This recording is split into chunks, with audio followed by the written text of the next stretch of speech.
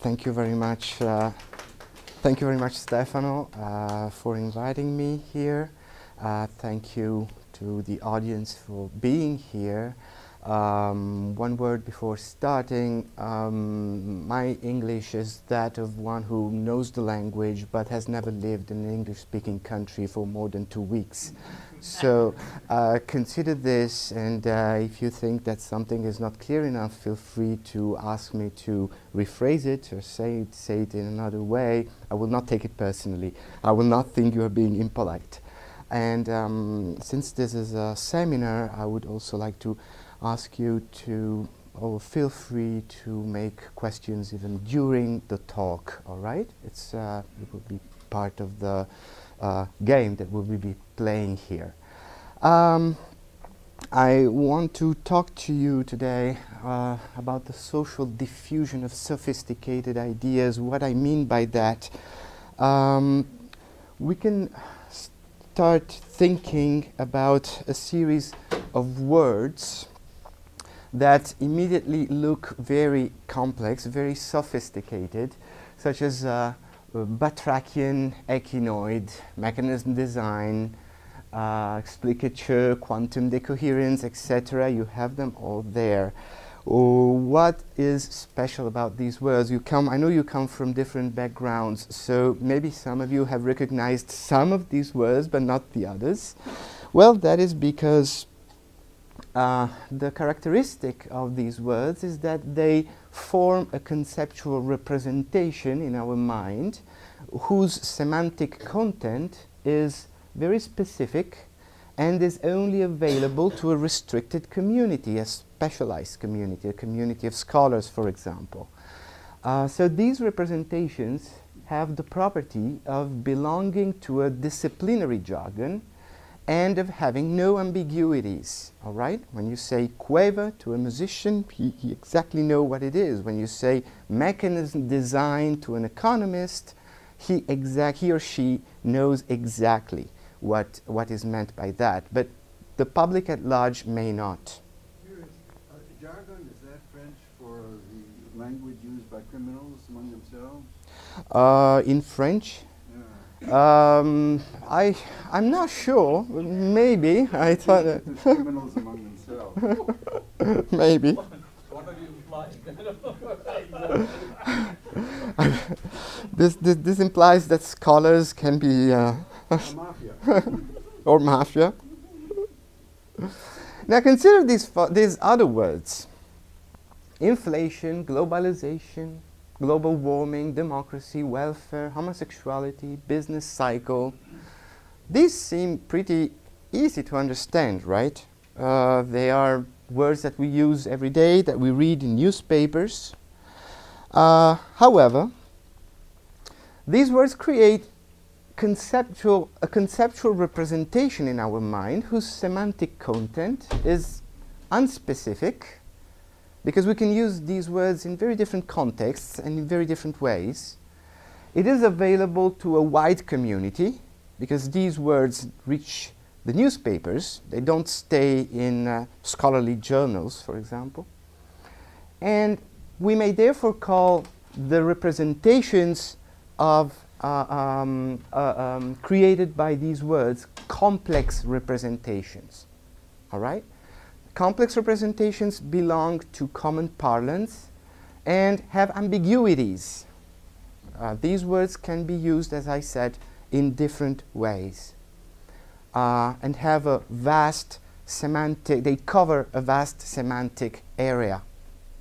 We're going to talk about complex representations we're going to talk about these about how these kinds of words spread in society and how this affects the forming and the spread of ideas in our mind okay and the relationship that these the link that these uh, words uh, um, have make between uh, the scholarly community that uses them the specialist knowledge that is embedded in them and the common way of understanding them. We will see what, is, what, I- what are the results of this matching. Uh, So as a definition of complex representations, we can say that they are conceptual representations. Okay, this is, I think, fairly clear, which are clear enough to circulate widely within a population and thus become cultural, part of cultural discourse, one might say, but have contents and implications that cannot be appreciated without resorting to expert knowledge. So graphically, this could be put like so. A complex representation can have several meanings. Three is just an example. Can have several meanings. Uh, some of them are publicly discussed, reach the great, the, the, the, the great public, the public at large. But then there are also other meanings that are only known to experts and may be vital in understanding arguments that involve such words, that involve such complex representations. For example, the business cycle. Business cycle seems something easy to understand, seems to be something easy to understand. We all know what business means. We all know what cycle means, right? Up and down, a wave. Business cycle is what we experience in, uh, in the space of more or less a decade in Western economies. The economy goes up, then goes down, then goes up again, then goes down. It's easy.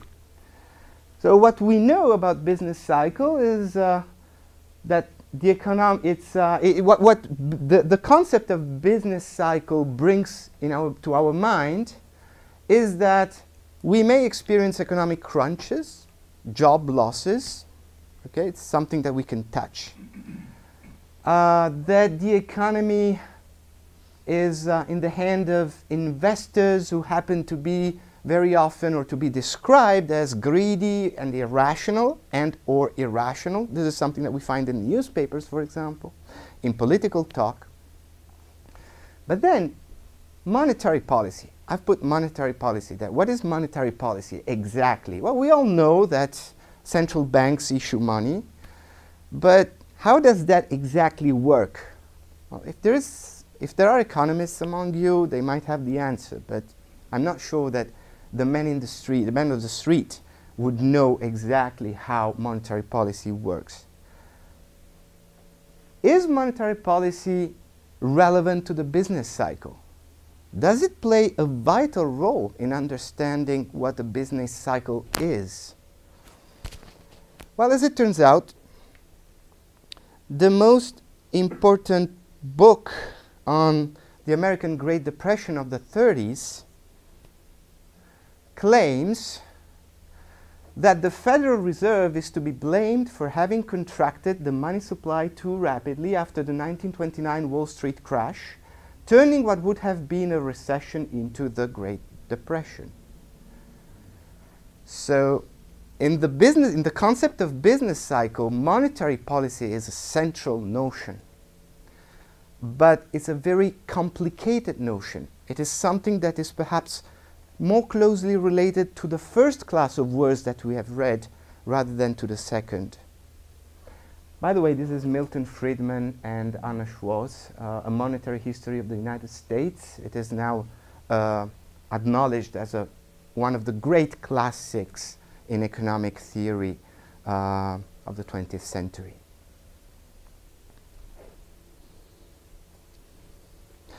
Credit default swap. Now, as a European, I'm particularly sensitive to this. Um, um, there has been uh, a lot of uh, talk about uh, the Greek bonds, for example. Investors were not trusting Greek bonds anymore, Greek government bonds anymore. Credit default swap bring to our mind risk-taking. Our economic system is risky. It's based on taking risks. And that means that it, can always, it cannot always work. Speculation, another catchword that comes up in public discussions. But then, a form of insurance, huh? What? A credit default swap? Form of insurance? Is it a form of insurance against what? How, how, how does it really work? This is more complicated. Out of, I, I didn't do a systematic, um, uh, a systematic uh, analysis of all the articles that have come out since uh, the, the, the beginning of uh, the Greek uh, crisis. But um, more or less, one can say uh, intuitively that out of 10 articles, that 10 newspaper articles um, or press releases that uh, political press releases that talk, ab talk of speculation, there are, there are maybe one or two who take into account the fact that credit default swaps are actually a signal of what's going on. They're not the cause of what is going on with the Greek bonds. Um, there was a good uh, uh, metaphor that um, an economist uh, made on an Italian newspaper. He said, when you have fever, you cannot blame the thermometer. And the credit default swap, the price of the credit default swaps is actually the thermometer. It's not the germ. Well, risk taking is seen as bad thing in a sense in speculation, whereas insurance is a good thing. Exactly. And so from the inside, it looks like a sensible thing to do. Exactly, exactly. Um, this is a, I have a couple of slides about what I just said. This is a statement by Greek Prime Minister Papandreou. Um, dates back to March 2010 time to end opportunistic speculation against us. Hmm? And what, what words would, uh, mm, I think this is not, this is not how it is supposed to be projected actually. I'm sorry for that. Uh, there should be other text showing, showing uh, up around. But anyway, uh, this is taken from, um, from a newspaper article uh, which talks about uh, bearish wagers people who wage. So it gives the idea of gambling. And here I have another slide that shows again with the same with the same technical problem, but you have uh, three. you have 11 occurrences in this article, in this newspaper article of the word bet. Hmm? So it always gives the idea of something finance is all about risk-taking, betting. It's, uh, it's irrational. We're, we are in the hands of people who play with our lives. They're playing with metaphors. They're actually playing with metaphors because here we have the title of a Wall Street Journal article that says investors playing defense heightened Greek debt woes. They are defending themselves. Actually, metaphor. Yeah. Yeah, yeah, once again. But in this case, it somehow brings in the idea of insurance. The idea that the credit default swap, which was blamed, it, it, was, a, it was a financial instrument that was blamed, and uh, some people in Europe, I mean, President, French President uh, Sarkozy wanted to make it legal, um, but it's actually the thermometer. It is actually something that signals through its price fluctuations. It signals that there is something that that is going wrong with uh, a certain government's bond emissions. So, why complex representations such as credit default swap, such as business cycle, are important for understanding how ideas spread? Because they're relevant to topical events. Complex representations are representations that contain very sophisticated ideas inside, but are topical to are uh, uh, relevant to topical events. That is not the same as I don't know uh, string theory in physics. You know, it doesn't really affect our life. um, gravity does, but uh, um, they're easily understood people read a newspaper article about the Greek, uh, the Greek crisis, and you you come out of it as you know you you get some idea of what is going on. You can have an opinion of what is going on, and therefore they are highly debated by the public. So, in order to better delve into the topic, I would I would like now to introduce you to a case study. Okay uh, which is the case study that served me to uh, come up with this, uh, uh, uh, with this idea, with this finding, I would say. The importance of complex representations in understanding how ideas spread. Um, So it was very empirical. I began by analyzing details, hmm? looking at things and analyzing the, detail, the details. And the, the, the, the things I looked at were pamphlets and comedies issued in England at the time of a very important economic change. That is between the end of the 16th century and the beginning of the 17th century, the so-called Elizabethan and Jacobean period, very known in uh, uh, the English culture because it's the period of William Shakespeare. Okay, a period of great flourishing in the arts and uh, uh, uh, and in literature, and in science too. That is the period of Francis Bacon, huh? the beginning of the very beginnings of the scientific method. What happened with money? Why money? huh? Why these Elizabethan coins there? Uh, okay, some uh, some setting. This is where these those plays were uh, performed in England at that time. Uh, this is a reconstruction of uh, uh, Shakespeare's Globe in London. Uh, consider that starting from 1576 and by the end of the century, there were in London 26 playhouses. So, considering the population of London at that time, which was not the population London has today, it was a city of about 200,000, uh, 200,000 250,000, then it grew um, to 400,000. It's quite massive. Rome today doesn't have 26 playhouses of this size, capable of uh, hosting more than 100 people. But it has Berlusconi. Uh, that's a that's a that's a topic for another conference. um, these playhouses, consider that these playhouses were very different from uh, the theaters we go to today. They were not meant to be accessed and then the lights dim, you sit down, you stay silent, you watch the film or the theater show and you go out. There were, they were places of gathering. People would go there and also talk. Talk about what uh, uh, uh, the talk about the play. Talk about what was uh, uh, uh, significant and salient in those times. And obviously, the play would address these topics.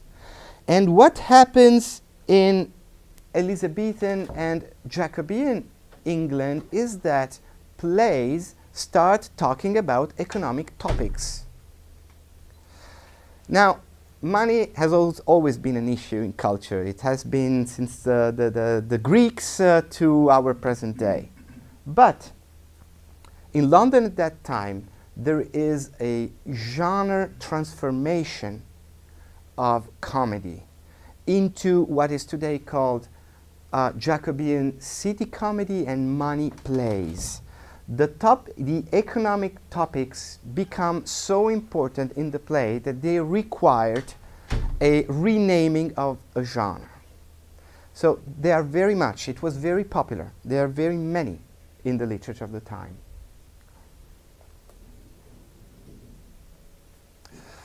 A couple of um, quotations from secondary literature to have a grasp of what I'm talking of this importance of money at that time um, in in uh, in um, culture, in in pamphlets, in uh, books, in in drama, in comedies. Economy begins to penetrate all human relations. Money becomes the only way of assessing value, profit, the only impetus for all human action. That was unprecedented. unprecedented. Clearly, there was something happening at the time that led writers, intellectuals, poets, playwrights to tackle this topic. Um,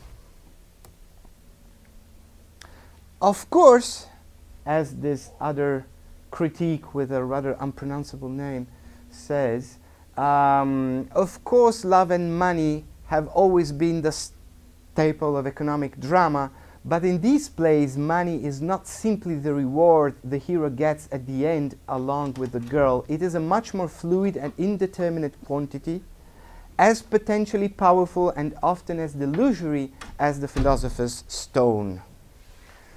So money is not only very present in the literature of the time, but it's also depicted in a rather peculiar way.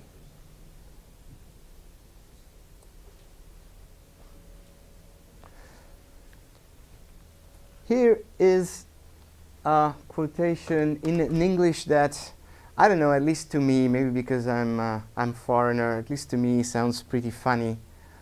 Uh, I would not dare to read it. you can read it by yourself. It's uh, from uh, William Rowley, a playwright of the time and also a pamphleteer.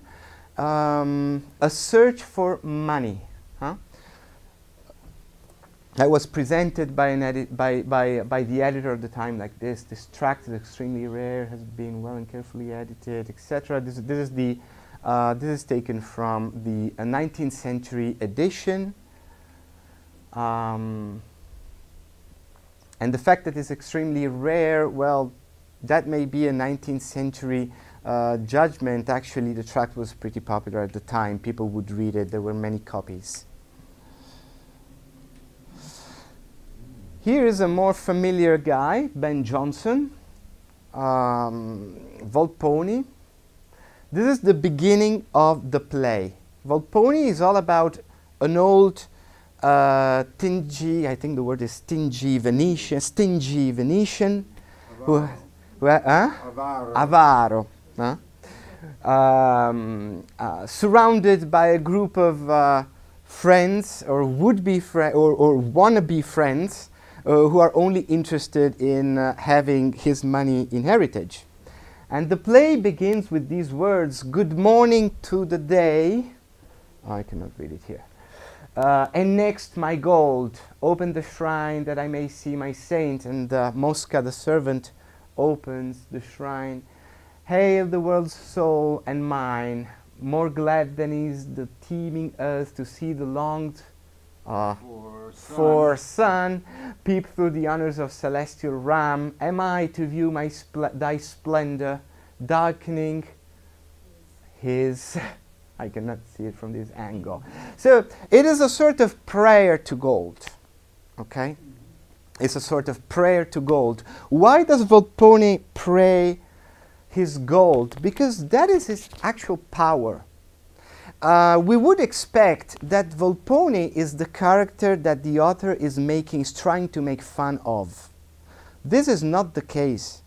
Ben Jonson will be making fun of the other characters. Volpone will be somehow somewhat respected for his cunning, for his intelligence, for his subtlety. The old fox. Ah, Volpone, the fox. yes, Volpone. Oh, yes, yes. By the way, Volpone is uh, Volpe in Italian means uh, fox, means fox. Yeah. So it's Volpone in Italian sounds like the big fox. Which is our institute name. No, no, no, no, no, this is wolf. This is Wolf. wolf. It's a little different. Oh, is it? Okay. In sheep's clothing. Um, Less subtle, really. Okay. So actually here, um, Volpone is depicted as, uh, you know, being uh, aware of the power that he has in his hands. And this power comes from this magic thing that is money as understood by Ben Jonson. We could not miss him. William Shakespeare, with Thomas Middleton, as uh, recent scholarship has taught us. Timon of Athens. By the way, these, uh, these lines were also quoted by uh, Marx in, uh, in The Capital, because Marx too had the idea of uh, money as something a bit tricky and magic. Gold, yellow, glittering, precious gold. Thus much of this will make black white, foul fair, wrong right, base noble, old young, coward viol- violent. Uh, money is a alchemic uh, an alchemic element it's something that changes things hmm? what were they trying to say what was the experience they had of the world that led them to uh, recur to a long-standing tradition of contempt of money and change that uh, and add to that tradition the idea that money was some sort of agent, some sort of supernatural tool. Okay, to sum up, in most cases, authors connected the changing economy with human vices, suggesting that the new economic order rewarded immoral behavior. I already said that that was a time of economic change uh, of, on, a, on, a, very large scale. Uh, feudal economy was transforming into a market economy. Not so much as we know the market today, but those were the first steps that would lead to the market economy as we know it today. But the idea they had was that this new economy rewarded immoral behavior. Does that ring a bell? thinking of speculators, thinking of credit default swaps, being confronted, being confronted with the increasing institutionalization of the new economic order, playwrights and pamphleteers began reflecting on the driving force behind its ongoing diffusion. At this point, we know that their simple answer was blame it on the money. Why money worked for this, uh, for this argument? Uh, because money is a complex representation, precisely because of that. Why? Well, because by definition we know that complex representations require expert knowledge to be used, uh, to be understood properly, right? However, full, uh, few objects are more familiar than money across nearly all cultures, and yet money is also an economic notion and one characterized by rather counterintuitive properties. Now, I cannot uh, delve too much into that, but consider only that economic text textbooks on average devote more than a chapter only to talk about money and its role in an economy. And uh, its various uh, um, um, shapes, money as the things that we hold in our hand, but money as loaned money, money as promised money, all these uh, financial instruments that are also part of the uh, monetary base of an economy. So it's a very complex thing, actually, and very much debated in economics. So the notion of money, the economic notion of money, is a complex representation. So it is something that is available, that everybody can understand, but at the same time it has some this sort of shaded area that, as we're going to see, helps its diffusion, um, induce people to talk about it. In a moment, we will see why. Hmm? This has to do with cognition. For now, let's just think that money is a complex representation in that it is something that is very familiar, but still conceals some complicated properties, aspects that only experts know. So what made money relevant? First of all, as I said, money contempt has a long-standing tradition. Okay? Those writers were humanistically trained, they knew the classics. You find money contempt in Aristotle. You find money contempt in Latin authors. You find it through the medieval age. You find money contempt in the Bible and the New Testament. Christ in the temple, for example. So there is a tradition for that. But that's not enough. There must be something that makes the tradition relevant to the here and now. What makes it relevant to the here and now is two sets of factors which we may call environmental and cognitive. Okay? And the environmental factors may be divided in two subsets, historical and epistemic. Okay, I'm going to, the, the, the, the I hope this will be uh, clear in a, in a few seconds. Environmental factors. Okay, we are situated always in a here and now. We see things, and the things we see make us think of other things. they trigger our memory. I propose you to watch one minute of a clip from uh, a TV show that's called The Wire, second season. This is the beginning of the first uh, uh, uh, of the first episode of the second season. We will see two policemen um, navigating in, uh, uh, on the coast in the coast of Baltimore and just talking. Okay, there's no real action going on here. The plot has not started yet. It's just them talking. Two people doing their job and talking in a, in a moment of relax. Let's see what they say. Um, I would like you to pay particular attention to the last few seconds of the video. Oops, sorry. Um,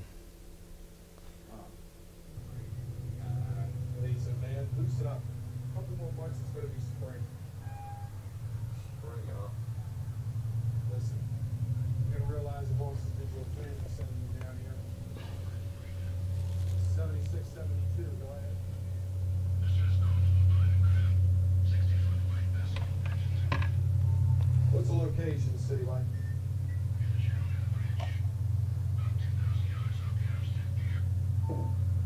Ten four, we're responding.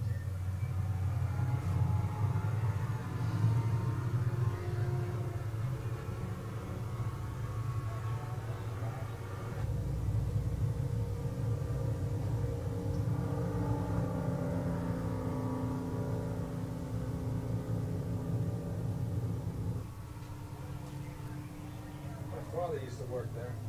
That steel? The shipyard's there, yeah. I had an uncle who was a supervisor there.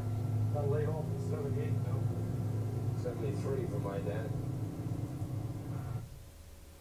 Okay. So they're, they're, they're navigating there, they're going to, uh, they, they receive the call, they're going to do their job. And then suddenly they see something, see something that is in the environment. Okay? And that triggers a memory. It is a memory that is relevant to economics. They're talking about their fathers being laid off. They're talking about the 70s, a period of economic crisis. This is an example of the environment triggering memories that may require some further information at, at some point if you want to delve further into them. Okay? Let's imagine what, how the conversation might continue um, yeah, my father was laid out in uh, laid off in in uh, 78. My my dad 73. Oh, what a bad period that was. What was it? Uh, how how did they call it? We, they, there were high prices, but then people were losing jobs. They call it stagflation of something. Mm, stagflation. We will return to this. Mm? But this is just an example of how the environment can trigger um, uh, memories, work with our cognition. Let's turn back to our uh, English writers who were faced with a certain number of historical facts and events that called for attention, called, catch their attention, that were particularly salient. Yes? Beg your pardon?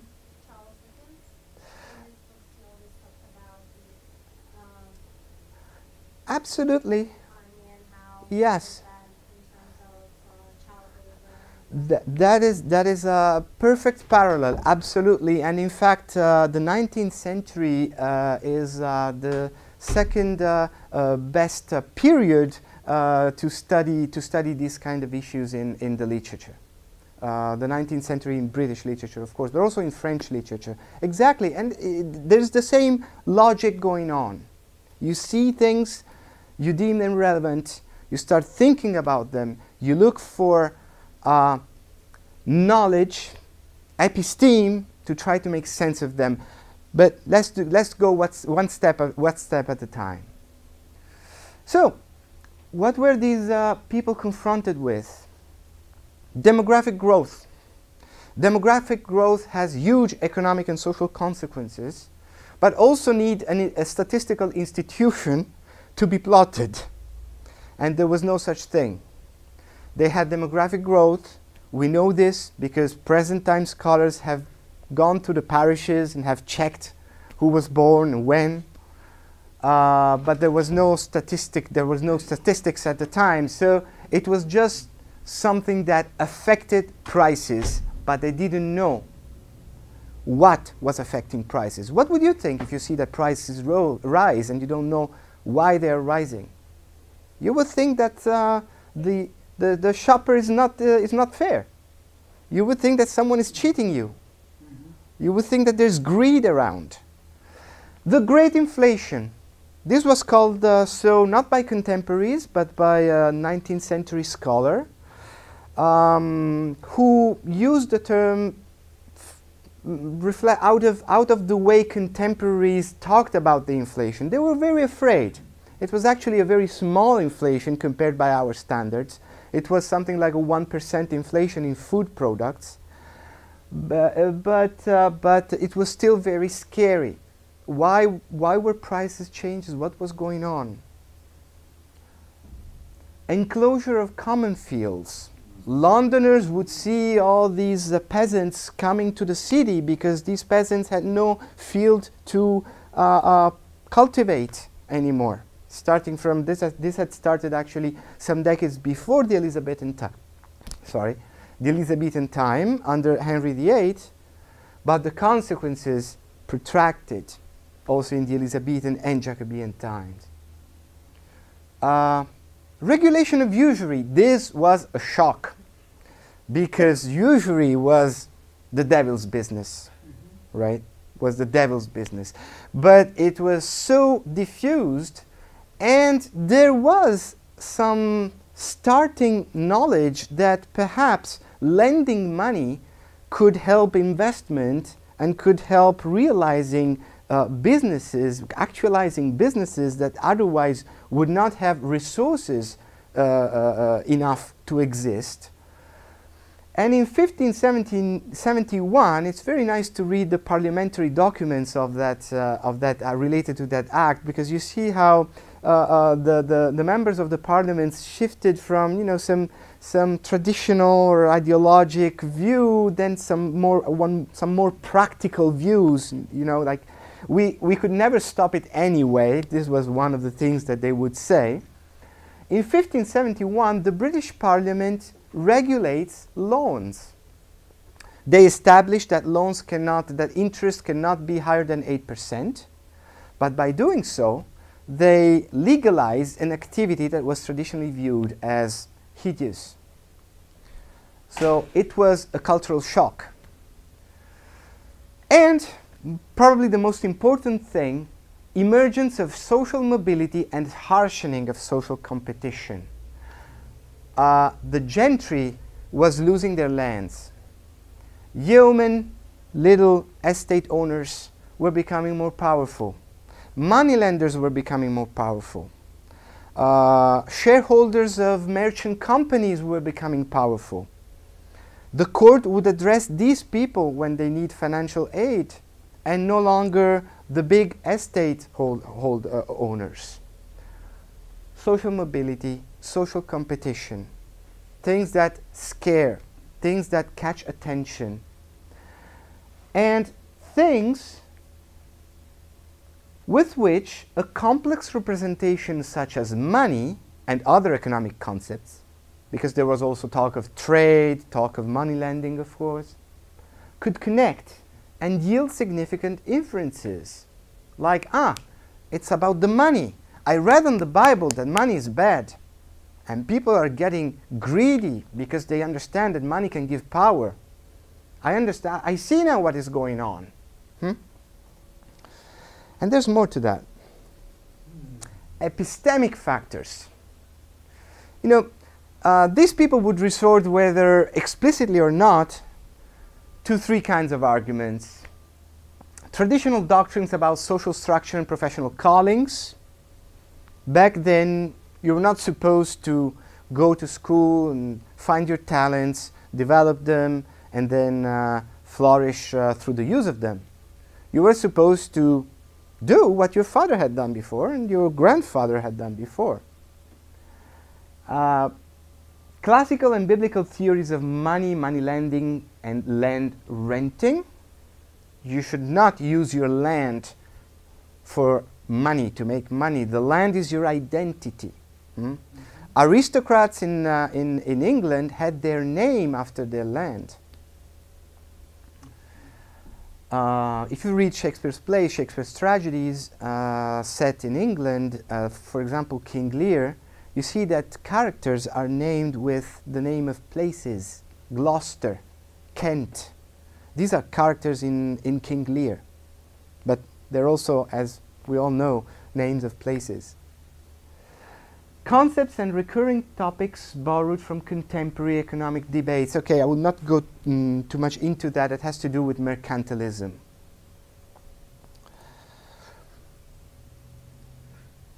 So,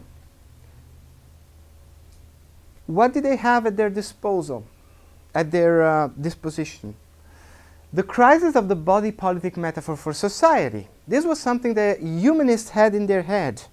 The, bo the body politic metaphor meant society is like a body, a human body, and every, just as every part of the human body has to uh, uh, serve a certain function, every individual in a society has to serve a certain function for society.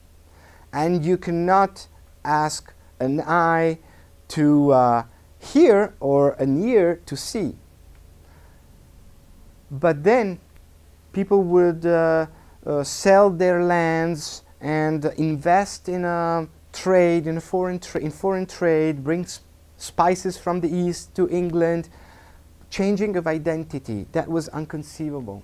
And that was very relevant to the, chain, to the uh, historical factors that we saw before. Harshening on social competition. Why? Because people are not respecting the body politic anymore. The traditional aversion for money and most activities related to it, I've already, I've already mentioned that. The mercantilist debate, that was the, the expert part. Okay, there was, uh, there were, um, in those periods in England, uh, were published the first tracts about, uh, about economics, but it was pretty restricted circle and only some, only very few aspects came out of that circle and became a topic for, uh, uh, uh, for comedies. Guess what? Mercantilists were obsessed with money. They confused it with capital. They thought that the state should accumulate bullion. And they thought that foreign trade was a zero-sum game. So it meant that you always had to have your balance of trade positive, because otherwise it meant that you were not well off.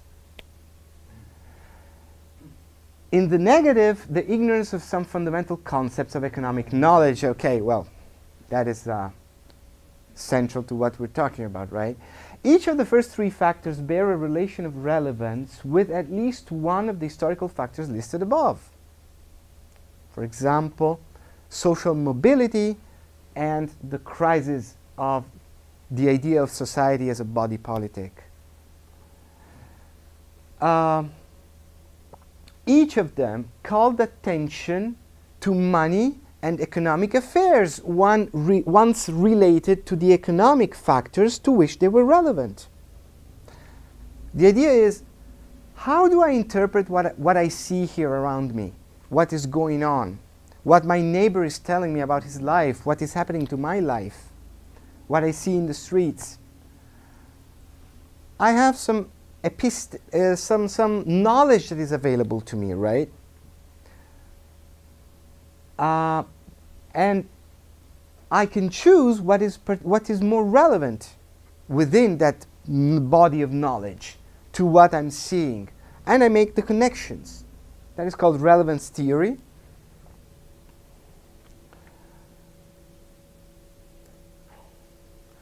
And leads to a situation of this kind.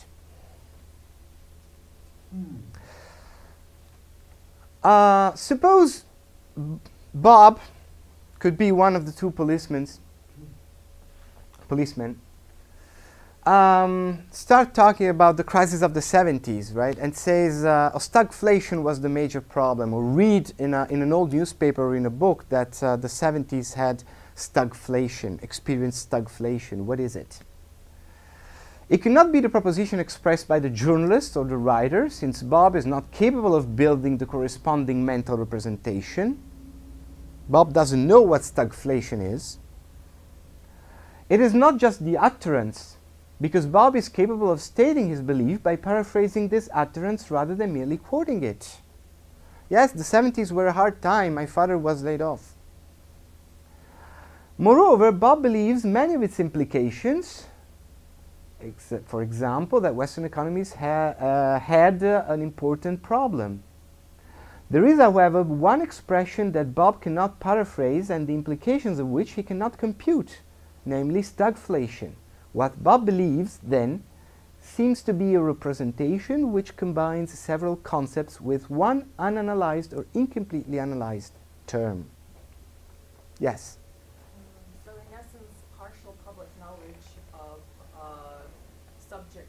that are socially relevant uh, is dangerous because it can cause people on a mass scale to label a symptom, uh, a, thermometer, as a cause, which can further aggravate a bad situation.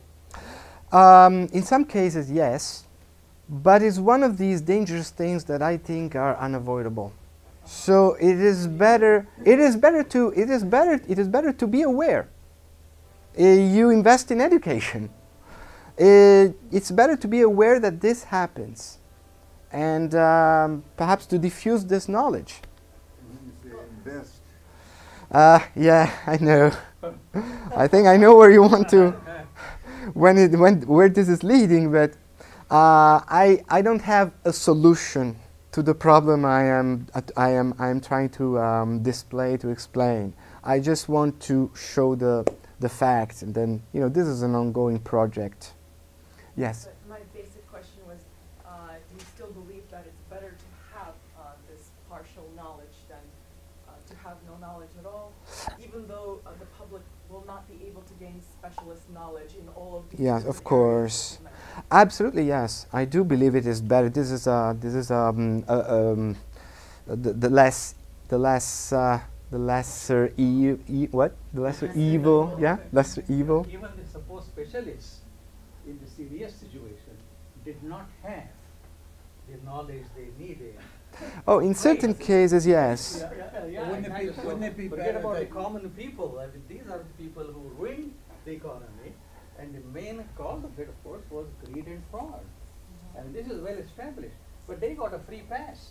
In our recent crisis, they were not hauled up, that uh, even though it was completely established the person making fifty thousand dollars was given a one million dollar home by Mm. a fraud, where by filling out things that they were not capable of reading or understanding, Yeah. And then when they are Um, it is also true, though, that uh, financial institutions such as Freddie, um, uh, uh, Fannie Mae and Freddie Mac were backed by the Federal Reserve.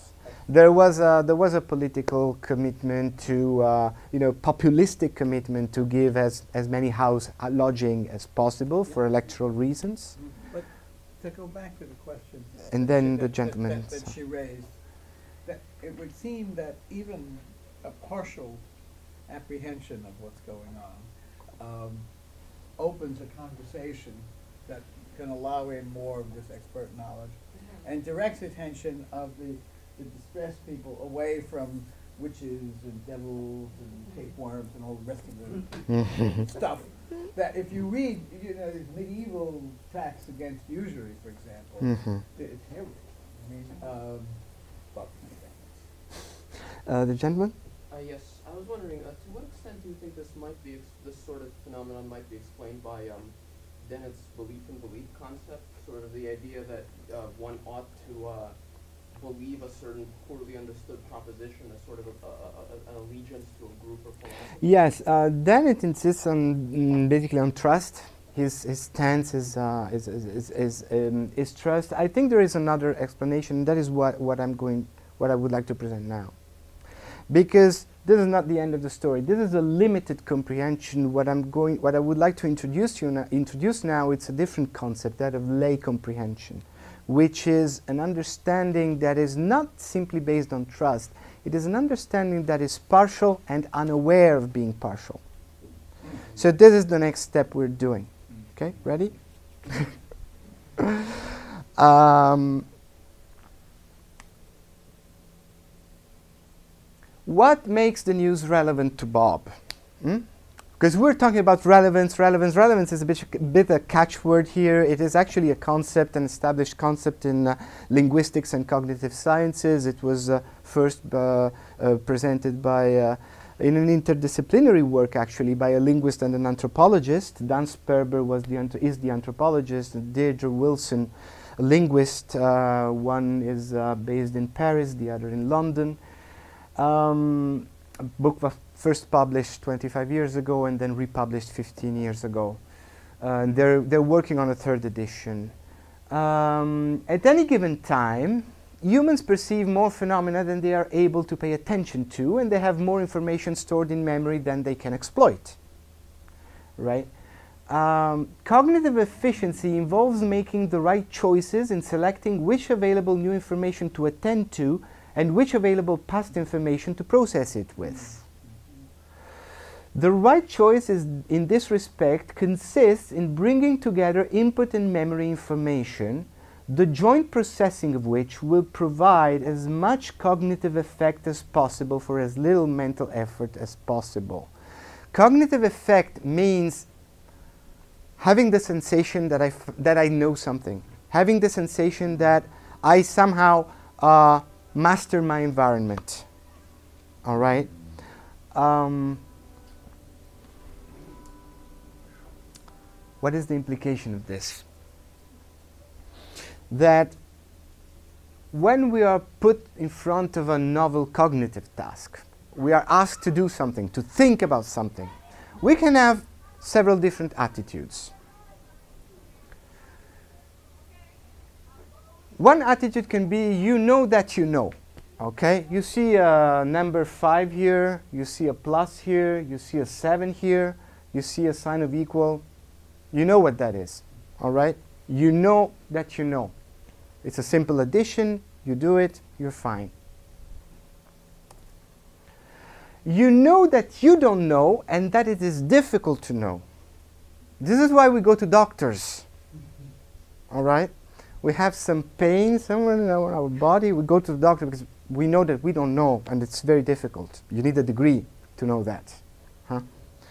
It's the simple representations, the, the difficult words, very specific. You know that you don't know, but you can foresee a viable workaround. This is when we have problems with our computers, for example. That is a cognitive task that we all perform almost every day. You know that, you know, no, I mean, you're not, unless there are even computers, uh, computer engineers here in the audience, uh, who is not a computer engineer, know all too well that you, you don't really know what is happening. But if you restart the computer, maybe that will help. and that is what you're faced with in, in this, situ this situation. But here comes the tricky part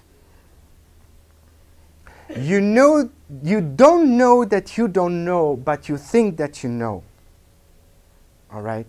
And this happens with what I named, termed complex representations. They hide their complexity from us. So they put us in this situation. We don't know that we don't know, but we think that we know. We don't know that we don't know everything about credit default swaps but we think we know and we talk about it. We don't know that we don't know anything about everything about money, but you know we have it in our pocket. It's the most simple thing in the world, so we talk about it. Uh, well, there is a huge literature on this, of course. There is a huge literature on everything, but and this is no exception. A number of experiments have shown that under certain circumstances, people are easily misled about the nature of a problem they are asked to solve or about the requirements that must be fulfilled in order to attain its solution. They think they have understood the problem they are facing, but in fact they have not. Um, this is uh, well known in, in psychology. There are a lot of little games, uh, some of which involve uh, high, high mathematical knowledge, and they seem very easily solved. Think, for example, of the um, heuristics and biases tradition of uh, uh, Kahneman and, uh, and Tversky. I don't know if I'm pronouncing these names well. Um, Kahneman and Tversky showed that um, when put exactly what, I- what is written here, that there are certain tasks that, that people seem to know how to solve, but in fact they're acting irrationally. All right? And they call these use of heuristics and uh, biases in uh, uh, uh, finding the solution of the problem. I have a little game here which uh, also um, fits the picture. Um, what cards would you uh, necessarily turn in order to verify that the statement written below is true? If there is a vowel on one side of the card, then there is an odd number on the other side. Yes. Number three. Number three? Only number three? And number And one and one and three. Other other suggestions? Four. Number four. I would say number one, because it doesn't predicate anything about anything else. So if, if number, if, if the first one has, has, uh, an odd number on the other side, then you can assess whether it's true. Another suggestion? Well, if the third one has a vowel on the other side, then it's wrong. Oh, yeah. Yes, that's, Yeah. That's called modus tollens. Two gentlemen here have uh, uh, uh, have showed familiarity with modus tollens. Actually.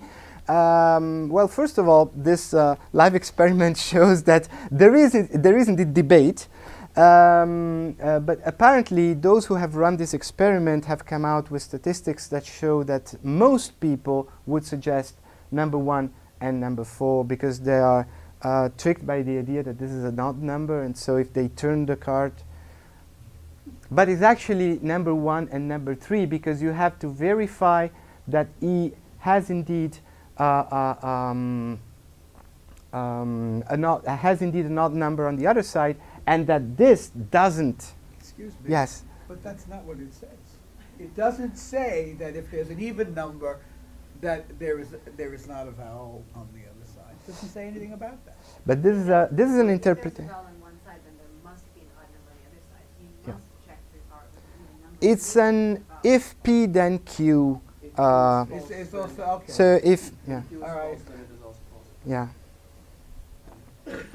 However, there are certain circumstances in which this doesn't create so much problems. Now, suppose these are people and not cards, and you have to verify that if they're having, if one is having alcohol, then he or she is above 18. Huh?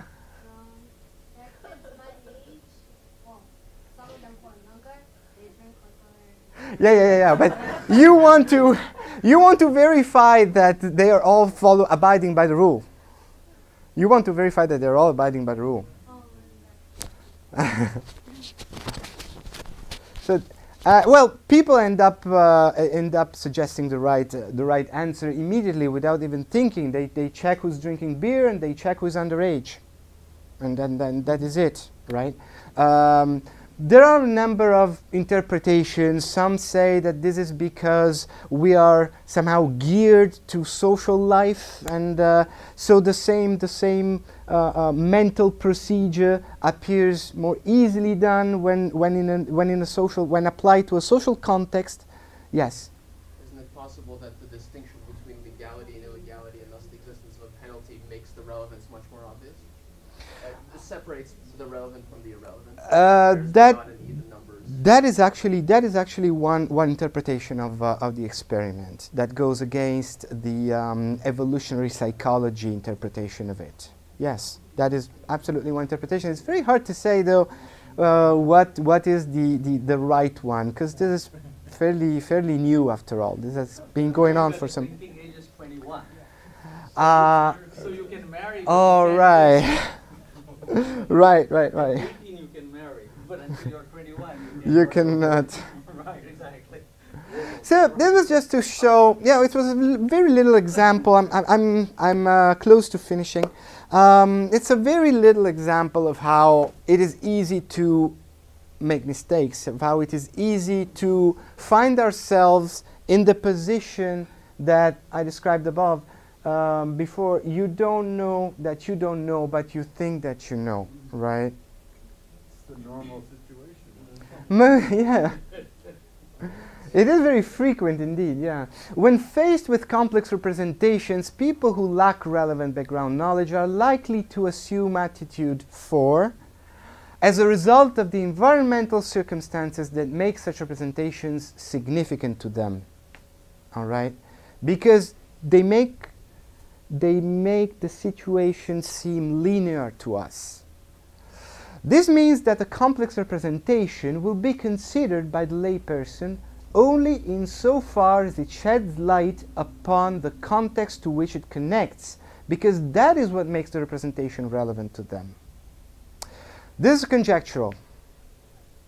Um, I have no laboratories, I'm not in psychology, I'm a historian, so I'm giving this to the public, uh, to, to, uh, and to the scholarly audience to, uh, to for, for further developments. But this is my, my conjecture. We'll map it to the Tea Party in America.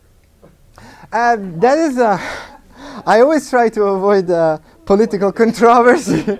Map it to But yeah, uh, absolutely, yeah. Well, um, there are actually relevant things that could be said which regard the uh, persistence of Berlusconi in power and why why it is still there. Actually, we're not all so dumb that uh, that we keep electing him, be, be, be, uh, uh, um, disregarding uh, the facts. Uh, yes. So something that you mentioned but you haven't stressed is the, the fact of familiarity and producing this bias, right? So familiarity is really what breeds this comfort with a complex representation, even though there's a total lack of understanding of like the, the understanding behind it. Yes. And that's a problem, and that can be linked to the Tea Party, so the more familiar a problem becomes because it's, it's focused on in the media and it's packaged in very uh, easy to, to digest uh, packages, people become very familiar, and as a result, they believe they know that if they don't. It happens in medicine, it happens in politics, it happens in economics. Uh, but uh, what makes it familiar is not only um, the way it is delivered using mediatic power. What makes it, there must be something in the actual environment that you can connect it to. Uh, so it must. exposure. I mean, even in psychology, if you do priming, the more you prime somebody on a subject, the more they report knowledge of the subject, even if they don't have any. It's just Mm. familiarity breeds a sense of knowledge, but Yes, but. I, I, although I, I have issues with these experiments because, yes, Yeah, uh, what you're saying is that you cannot be disproportionately afraid of inflation unless the prices are actually going up a little bit. Yeah. If they are the same, always the same, you will never be afraid of And, and you have, and you have, yes, and you have uh, news hours on TV saying that there is inflation, there is inflation, there is inflation. But when you go to the gro- grocery store, you don't see so much difference in your in your in your cash flow. It it will not. I my my conjecture is, and my p- prediction is, you will not develop this uh, uh, uh, um, a fear of inflation. You will not believe the news. You So, and this is the. Yeah, that is a conjecture. and That has to be that's that has to be uh, that has to be tested actually. Yes. That's the whole idea of marketing, like having the same ad run uh, a lot. Even if you don't actually find these qualities in the product once you buy it, it's still stuck in your head. It's a meme. Um, yeah, but it doesn't work alone. It doesn't work alone. You can, you can market, you can market, um, you can market a product in the best possible way and with all the means. If it doesn't work, it doesn't work. Think of uh, Hollywood uh, flops. Um, actor Kevin Costner um, uh, produced and, and directed a film called Underworld. At the peak of his fame, and using uh, a, sub- a substantial budget and great, the best marketing firms to market it, Has anyone seen that film? um, can I just? Mm, I'm, I, I've reached the conclusion, so then we will we can talk as as, as, as much as you want. Um, Well, your inflation discourse, that was interesting, but I mapped it immediately to uh, uh, global warming. uh huh. And then, and I heard somebody say the other day, well, you know, they've renamed it now climate change. Yeah, yeah, yeah. Exactly. Exactly. Yes. Um, yeah, and that is something that also that is not surviving. That is not surviving the facts, and they have been exposed to. Uh, uh, you remember? You probably remember the scandal from last year. Um, so, lay comprehension, okay? Let's call it lay comprehension. The way we understand complex representations is a way that we can call lay comprehension. It differs from a merely limited comprehension in that the former conceals the limits of one's own understanding. That is, lay comprehension conceals the limits of our own understanding. Lay comprehension is an unconsciously partial comprehension of a conceptual representation. Lay comprehension occurs as a result of a special combination of historical and epistemic factors that makes a complex representation significant to a population. But then again, um, historical and epistemic. Uh, the issues I have to mm, uh, get back to uh, Cecilia's question with uh, experiments in laboratory is precisely that when you are in, an, in, an, in a laboratory setting, uh, all you have, the world for you, is what you are presented with. But in real life, you have communication and you have experience. You have what reaches, what comes to your head, and you have what your head, your eyes, and your ears see and listen to, without much, uh, uh, um, without much influence.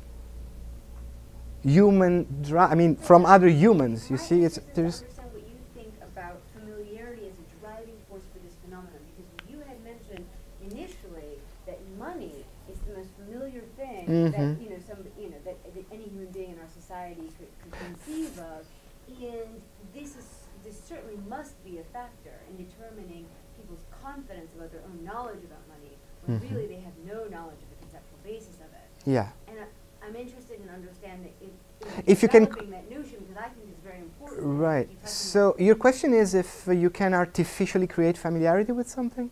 No, I, I'm, I'm, I want to understand whether you think it's a driving force or whether you just thought that in that particular example of money, familiarity, Oh, no, no, no. was important, but if it actually plays a, a significant role.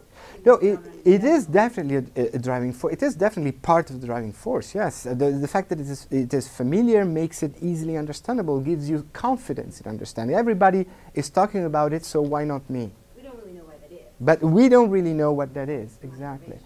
This is what comes. Um, and this is a, for further delving into this concept of lay comprehension, how it uh, it uh, it may uh, arise, but again, it's uh, um, it's conjectural at this point. Mm, This is the beginning of the project. Yes. I have a question, wh- sorry, I missed the very beginning, but, so, It's okay. this doesn't sound absurd, but do you think you could, would you be happy with reducing or to, uh, describing the, the cognitive relationship to money in terms of how, how people feel about modernity? I have to, I preface this with the fact that I'm taking care of my, um, eighty-seven-year-old grandfather, and it's not quite like living with somebody from the Tea Party, but he's one of these gold bugs. And so all of these factors that you're describing about, you know, not knowing what you know, but thinking Mhm. sense, and Mm-hmm. it really seems like the desire to have this, you know, use value relationship to money has to do with how you feel about freedom, how you feel about things being uncertain, and you want to tie things back to a fixed notion because things just seem too uncertain. And maybe you could say the same thing, you know, before World War One. The gold standard broke down, international institutions broke down, nations went inward towards fascism because modernity had failed. Uh, well, this is a very specific case that then is being linked to a very general notion like uh, modernity. I would rather say that in the case of, uh, I, I, I also uh, had similar experiences. Uh, I remember my, my grandmother, um, a, a person who has a certain attitude with money, spe- especially a certain a, cert- a person of a certain age. I would rather link that to the, the, the, the notion that he has uh, of money and the use that he has made of money in times when mm, credit cards didn't exist and, and, and money was conceived of in a, in a different way. But it's more of a personal, um, it's more of a personal issue in that case, I would say. Um, although um, um, reflecting upon uh, the description that you that you gave of your uh, grandfather's attitude, I would say that even in this case, he's uh, you know you, he's relating his episteme, his knowledge, the knowledge that he has about about uh, uh, the issue, uh, with um, the world that he knows. Which, being a man of a certain age, is probably a world that doesn't include computers, is probably a world that includes only certain TV channels. Uh, it's probably a world that includes a pretty restricted neighborhood. Um, you know, so he's behaving consistently, I would say. And, and, and there is world in it, there is environment in it. Wait, Yeah. but I think that there's something to be said for the motivational aspect. So we've been talking about sort of the cognitive bias that people have, but this is sort of touching on the motivational aspect of why people exert this cognitive bias, like why people develop it. It's almost a defense mechanism because it's such a stressful uh, process and so anxiogenic to think about where the world is going, what you know the stressors are in like daily existence, that people are forced to sort of take these shortcuts, these heu- heuristics, adopt these biases to comfort themselves. I, I mean, I think that that's an important. Uh, yeah, mm, although uh, I repeat, other people would say that people use these biases simply because our brain evolved uh, in, an, uh, in an environment that was very different from the one we're living in, and uh, the brain is still geared to respond to the impulses of that environment instead of our environment. But this is just as conjectural at this point as. Doesn't, doesn't, doesn't our environment, for example. Excuse me, excuse me, There was sir. There was. Uh, yes, excuse me. Sorry to interrupt. Uh, actually, this is touching on what you just said. In the case of money, at least, in similar concepts, it's possible that familiarity, the feeling of familiarity, is caused not necessarily by exposure, but by the fact that we have certain evolved intuitions that easily and naturally apply to things to things that seem like resources, like money, which may also be the source of why we feel uh, that it's evil because our intuitions about fairness and, and unfairness about distribution apply, and they don't necessarily accord with the, the money as a representation of, of value that is generated. So that break But money, money cannot have undergone um, evol- an evolutionary certainly not. It's just- process because money, money necessarily must have existed. Yeah, Right, it but, ha- but it could be equated with, you know, other things that we think of as resources. Right, like our money. attitudes Well, there is on your there intuitions is- by intuitions we have from like about resources that we've evolved to be Right. familiar with. Uh, there is a paper on uh, folk economics that addresses exactly this question. Um, it doesn't talk about money though, but it talks of uh, trade, for example. Um, and it says that trade is uh, generally viewed as um, uh, regarded as a zero-sum game and as um, an example of commutative justice. That is, um, trade is perceived as something uh, where if I gain, you lose, and to be fair, we have to exchange products that have equal values. However, this is not the way we actually behave, and not because we are unfair, but we there seems to be a mismatch between what we think we're doing when we behave economically and what we actually do when we behave economically. Otherwise, the world would not be the way we know it. And the reason why the world is the way we know it is that because trade is actually a positive sum game. Because you're not trading the goods, you're trading the values that are in them, and blah, blah, blah. So, so there seem to be, this is also uh, actually a, a research path that, uh, that has opened after this, uh, after this, uh, this research, understanding if and why uh, the way, the what, what we think about our economic action differs from what uh, our economic action actually is. And this is what makes mm, this is what makes I, I, I mean I don't know if there are some psychological grounds for this, but uh, this is what makes uh, for economics as a, as a profession. Otherwise, we would all be economists, right? given, given the nature of complex representation, as you lay it out, on the one hand, and given the sort of uh, existential necessity of using money continuously, Mhm. day in and day out, in order to stay alive and to accomplish anything, how could you operate except by sort of closing your eyes and making believe that you know what you're doing? Because money, as you, on your account, is so complex that it's very hard to understand. True. Um, in fact, and this goes back to what uh, um, the lady asked uh, earlier. Um, I'm not saying that this should not happen. Mhm. Um, I'm not attacking lay people. I am a lay person myself. I think we're in a in a world where division of uh, labor and division of intellectual labor is so has reached such a detail. It is unavoidable. Uh, so uh, this, yes, has to do with modernity. Modernity has brought this. Um, my my idea is that we have to live with this, but maybe we can be a little more aware. It's it it connects to it it it relates to critical thinking, which is uh, very often a marginal discipline in uh, in, in in universities. But maybe there should be. Uh, something uh, some some more work to do on it i mean be being aware that um, He's talking about Italian. uh, i'm talking about italian universities of course If only because public opinion is so important, is such an important factor in what actually gets done about the situation. Yeah. um, You can actually dig a bigger hole for yourself.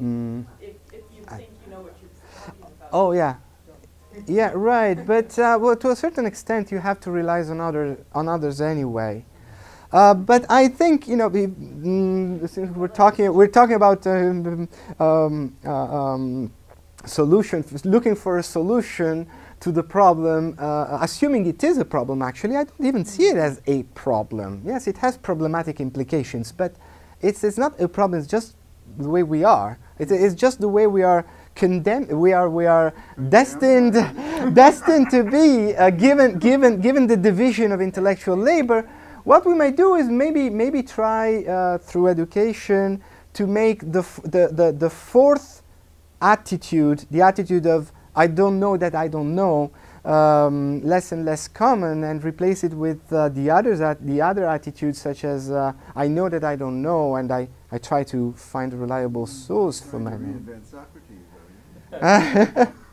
but that uh, that would uh, that could m- could be a good idea. And maybe also foster a greater trust in the experts. Yes, but then again, but then again, that's that may not be that may not be the solution. That may not be the solution, because there are a lot of issues with that too. Uh. Uh, even in, in economics itself, I mean, you read uh, experts writing on, on the New York Times. They say they say A, and you read uh, experts writing on the Wall Street Journal. They say non-A. Uh, how do you how do you decide? Ideology. It's- Yeah, ideology. You, you don't want to end talk about politics, but it's inevitable You keep thinking about it. Because Mhm. the kinds of, for example, the kinds of reactions to uh, social programs that, the, let's say, let's just mention the Tea Party people Mhm. have. Uh, when you look at this, the size of the documents that we are being asked to uh, support and the hair-raising complexity of them, it's understandable. It's understandable that people would be terrified by it. A- And peop people support these movements also for um, uh, very different reasons, um, because perhaps they may be more sensitive to one part of the uh, um, of the whole ideology that is behind, but not to the other. Then they accept, you know, I take I don't know, I take uh, um, the the, the um, fu- uh, religious fundamentalism because in fact what I want is lower taxes, you know that there are different uh, different ways to adhere to a to a to a political program. Um, I, I- I was just wondering whether perhaps e- economics or money might not uh, necessarily be the best case to go because of the A not A, and some discussion in some quarters about the science of economics to Mhm. start with. Uh, What I was thinking of is a student of mine uh, did her senior thesis on scientific illiteracy. Mm, And the issue that she used was stem cell research. mhm, And she, what she discovered was that virtually everything that was said, and, and, and almost in everything were her words, about stem cell research was actually scientifically wrong. And that the things that people thought they knew and believed and were certain about, and, and, and Tina was adamant, you know, and had a whole slideshow on this, Mhm. that almost everything lay people thought about stem cell research was wrong. Not in the A or not A, but actually scientifically Mhm. not the case. And yet people were absolutely certain. Uh, as it happens, uh, stem cell was one of the words that I had chosen as a complex representation, as, a, as an example of complex representations. I, I decided, I decided to delete it because I don't, because I feared questions about it because I don't master the subject uh, uh, very well. Uh, but yes, I had the impression that stem cell might be. Science, issues about one of- yeah. determine the yes or no. Absolutely. Although, although there is uh, always uh, some approximation to the truth, also in hard sciences, uh, mm, it's certainly less controversial than, than economics. As I told you, this, this, this is not a theory I, in- I, I- invented as such. It's something that came out of a, of a, of a case study, of a research uh, from, from, from the bottom up. And I, I was dealing with uh, literary texts uh, mm, which had uh, money among their topics and I start asking myself why it is so, what is happening, what is going on here, and this is how I, how it came up. But, but yes, the theory is absolutely applicable to um, uh, uh, uh, scientific, to folk science, as they call it. Uh, stem cell may be a case in point. It's a good idea for further. I also think it has more affective and motivate, I mean, I think it's a sort of complex of factors that make people certain that they know what. I mean, I'm, I'm ready to bet that stem cell is just as money a complex representation. That is something that we feel we, we know about it because we read on newspapers, because we see important people talking about it, like the Pope, for example, always to talk about Italy. Um, uh, but, uh, but then, in fact, you know, who, who, who really knows what is a stem cell? I mean, who, who can really go, I mean, unless you are a biologist, who would go beyond a Wikipedia article? Yes. The thing about stem cells, though, is that unlike money, uh, our beliefs and what we think we know about stem cells is largely an issue of our allegiance to various uh, political groups. Right. It's not like we have to use our knowledge about stem cells on a daily basis. It's Mm. mm. vote. And we, don't- at least in the United States, vote along party lines generally anyway, or at least along, you know, lines of political formations. So Right. it's, Yeah. it's a slightly different case than money because, you know, there's there's no cause for us to, to use any knowledge on that of it on a daily basis. Also evolution is this problem. It Exactly. impacts public policy quite a bit. Exactly. It's very Yeah. in this country. But yes. But the way that it does impact uh, a sort of uh, daily use in a sense is that uh, pub- politicians tend to side with uh, the majority uh, public opinion and it hinders research uh, for no reason because people uh, have a misunderstanding of the idea. Hmm Well, yes, of course there is um, political action that uh, uh, uses these um, So mm, in mm, a sense, it is part of uses lay comprehension. I mean, I, I think yes, I think you can use lay comprehension in order to. Um, I, I put homosexuality uh, among the um, complex representations. Um, in in Italian political debate three years ago, a center-left government tried to um, pass an act, a law that would legalize. Um, uh, how would you say Civil unions. civil unions, civil unions. And if you, uh, uh, if you, if you read uh, the political declara- declarations of the time, you would see that they would uh, definitely play on the lay comprehension of what homosexuality is in order to get their argument across. So it is something that you can uh, somehow manipulate. So then one definition of a complex representation would, and I'm asking, would include the notion of number four, that some aspect of a complex representation is that people think they.